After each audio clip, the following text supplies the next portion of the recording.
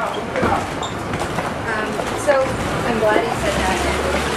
And, and just for a couple minutes,